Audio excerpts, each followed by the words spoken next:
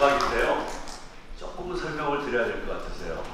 그, 그 먼저 남자 이 판소리 하신 분이 진민구 선생이신데 어, 성창순 어, 북창의 수제자입니다. 그리고 이미 어, 신안과 아, 저 신청가와 흥부가를 완창을 해서 예, 아마 내년이나 올 말쯤에는 어, 영창의 대열에 들어갈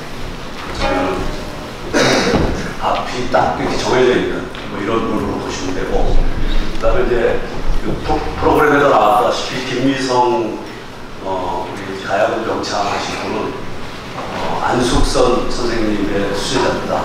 그래서 어, 안숙선 선생님 뒤를 이을 그럴 분으로 확실하고요. 이미 5월 6일 그 구례에서 열렸던 가야금 전 국대회에서 대통령 상을 수상을 하셨습니다. 여러분 대통령 상을 타야지 명창이라고 부르거든요. 그래서 이미 지금 김민성 선생님이 명창의 대열에 들어갔고 어, 이런 두 분을 우리가 조금 시간이 지나면 못 모실 거예요. 못 믿기가 어려운 분인데 모셨습니다. 그래서 어, 잘 들어보시고 많은 박수로 호응도 좀 해주시고 그래야 됩니다. 여러분들. 그래서 어, 이두분 선생님 소개합니다.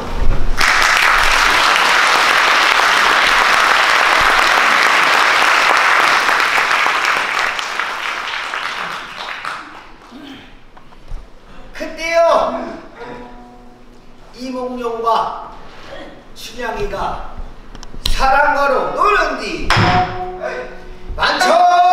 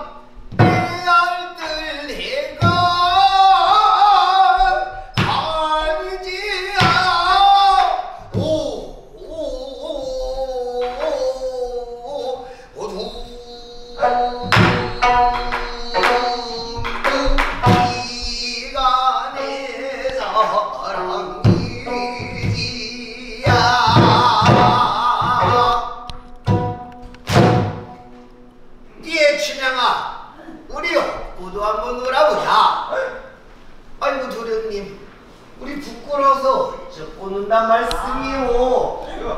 예, 춘향아, 저기 저 너의 어머니께서는 소식적 우리보다 훨씬 더 있다 오더라. 그러니 우리 한번 얻고 놀자. 이